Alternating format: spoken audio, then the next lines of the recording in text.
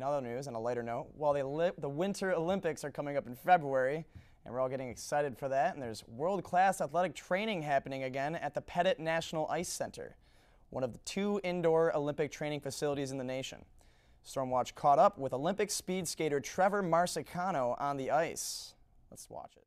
Marsicano first moved to Wisconsin in 2008 to pursue his speed skating career, where he trains at the Pettit National Ice Center here in Milwaukee, one of the two close rank Olympic training facilities here in America. As I plan to compete at least through this next Olympics, and then uh, at that point I'll reassess, you know, like my health, my injuries, and you know, I mean, I would like to continue on to the next Olympics, but I you know have to see if the body will allow me to.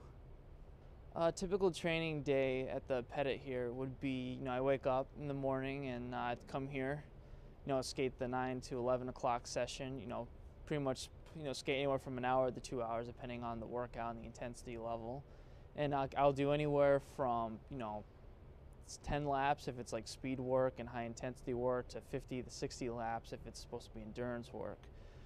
Uh, what goes through my mind uh, when I practice is just all the technical elements I need to achieve. I mean, and, uh, and on race day, uh, this might seem kind of goofy, but I try to visualize myself as the Hulk just because, you know, big, powerful, strong, and just kind of something funny to kind of get my mind off of the pressure and everything.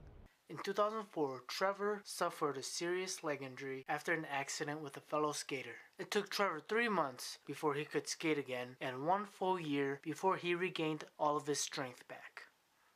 What motivates me to skate is, uh, I mean, a lot of people say it's a gold medal, but for me, it's uh, it's, it's the ability to um, build a platform for anti-bullying and anything else. Just kind of, this is like the first stage, hopefully, to something bigger and better and I would like to make a bigger impact than just sport. So I guess that's that's what motivates me is just to be able to impact people on a bigger level. Yeah, after the 2010 Olympics, I decided to go around the schools and actually I've been to about 50 schools and do an anti-bullying campaign because that's something that really affected me when I was younger.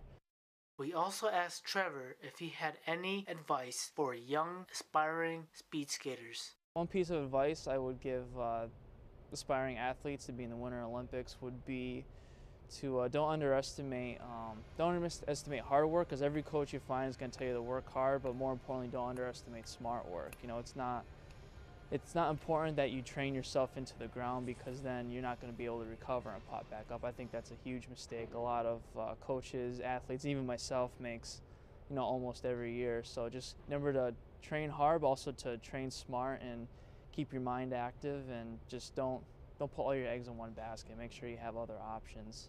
You know, whether it be schooling, work, you know, learning. You know, like I try to learn how to play the guitar, just kind of do something different educational. So just uh, keep your options open.